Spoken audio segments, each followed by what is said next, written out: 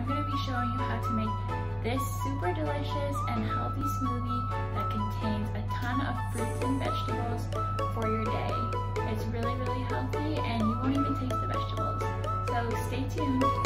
So the ingredients you're going to need first are oat milk, celery, banana, some frozen berries, frozen mangoes, some fresh spinach, and of course your blender.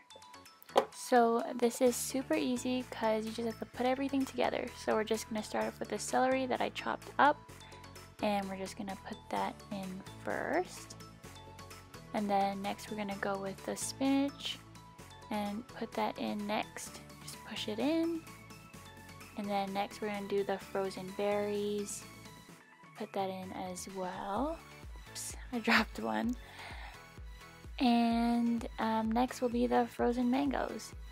Um, we're just to put those in and I dropped another one. And now the bananas. And I just uh, put the bananas in chunks. So yeah, those are the for the fruits.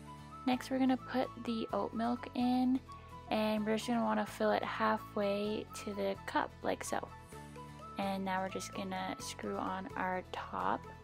And we're just gonna give it a really good shake so that the milk can just spread everywhere like so. And now we're gonna get blending.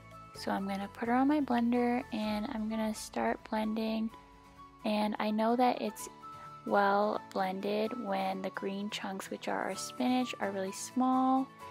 And this should take around 30 seconds. So once we're done I'm going to take her off and give her a good shake and that's our smoothie. So after blending your smoothie, this is how it looks and it may not look super yummy, but it really is. It's super healthy and packed with lots of fruits, which makes it sweet, and vegetables that you won't even taste.